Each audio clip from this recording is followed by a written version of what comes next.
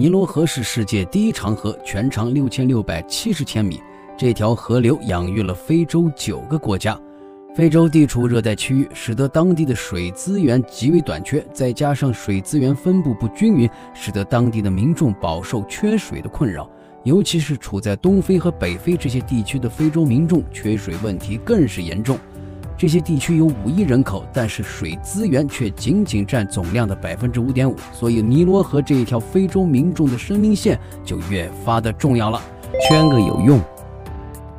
为了增强水资源，甚至会爆发激烈的战争，其中埃及、苏丹以及埃塞俄比亚这三个国家争夺的最为激烈。而为了抢占先机，在河流上修建大坝就成为了重要的手段。在这方面，埃及抢占了先机。他们在一九六零年就修建了一座大坝，这座大坝就是世界闻名的阿斯旺大坝，至今已运行了五十一年。这座大坝修成之后，使得埃及境内的水库面积迅速扩大，基本上将尼罗河的水量全部吞下，变成了一个巨大的水库。这个水库在埃及境内被称之为纳赛尔湖，在苏丹境内则被称之为努比亚湖。但在苏丹境内占据的面积最大，达到了百分之八十三，所以是阿斯旺大坝的最大受益者。阿斯旺大坝修建完成之后，给当地的民众带来了非常显著的效果。一九七二年，非洲发生了史上最严重的一次旱灾，有三十四个国家受灾，二十四个国家发生了严重的饥荒，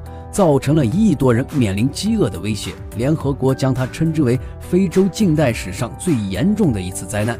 但是埃及却置身事外，因为他们提前在阿斯旺大坝上游的水库蓄满了水，所以在干旱来临的时候，依旧可以实现粮食自给自足。埃及之所以可以屡次战胜旱灾，阿斯旺大坝绝对功不可没。为了让阿斯旺大坝的优势始终保持下去，埃及不但自己继续兴建更加巨型的大坝，最主要的就是反对上游修建大坝。因为目前埃及人对于尼罗河已经形成了高度依赖，埃及有超过百分之九十六点五的用水量来自尼罗河，全国几乎所有的人口想要依靠尼罗河才能够生存，所以埃及每年的淡水缺口相当巨大。因此，为了保障自己的用水安全，埃及对于上游修建水坝是极力反对的。埃及的地理位置属于热带沙漠气候，因此常年高温干燥，仅北部地中海沿岸才会有少量降水。所以，埃及一直在想办法寻找新的淡水资源，包括污水回收利用以及海水淡化技术等等，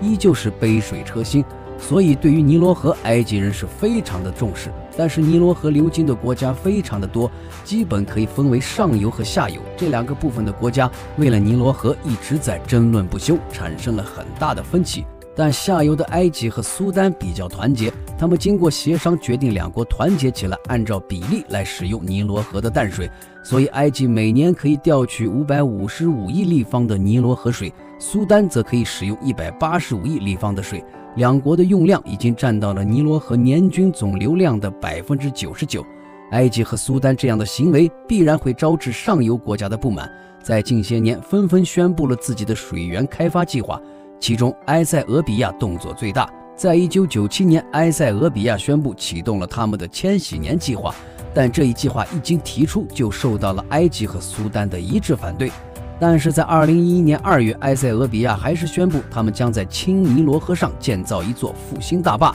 从这个名字当中就可以看出，埃塞俄比亚他们的目标究竟有多么的远大。而这座大坝也是为了保证埃塞俄比亚的经济发展和民族复兴。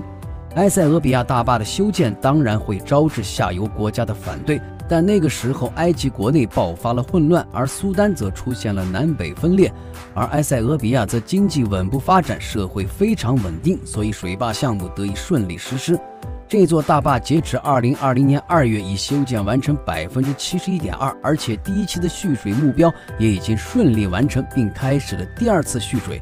当这座大坝全面建成之后，它的泄洪量可以达到一点五万立方米。坝后将造就一个一千八百平方公里、蓄水总量可以达到六百三十亿立方米的超级水库。这样的规模比我们国家的三峡水库还要巨大。同时，它的发电量也不可小视，将完全满足埃塞俄比亚电力短缺的困境，甚至还有多余的电量可以出售给周边国家。这座水坝之所以能够顺利完成，首先得益于它得天独厚的地理条件。同时，这座水坝也得到了中国的技术援助，但这座水坝的修建也将会给下游带来巨大的麻烦，这将导致下游的国家将损失一百五十亿立方米的淡水。